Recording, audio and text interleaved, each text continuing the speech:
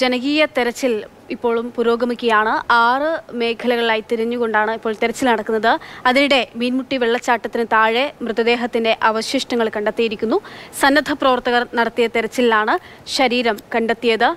മറ്റിടങ്ങളിലൊന്നും ഇതുവരെയും മറ്റൊന്നും കണ്ടെത്താൻ കണ്ടെടുക്കാനൊന്നും സാധിച്ചിട്ടില്ല. പക്ഷേ ആളുകളൊക്കെയും തിരികെ ആ ദുരന്ത ഭൂമിയിലേക്ക് എത്തുകയാണ്.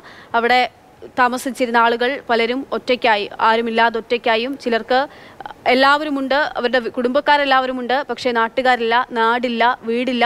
അങ്ങനെ പലതരത്തിൽ അനാഥരാക്കപ്പെട്ട അനാഥമാക്കപ്പെട്ടുള്ള മനുഷ്യരൊക്കെയും തിരികെ എത്തുകയാണ്.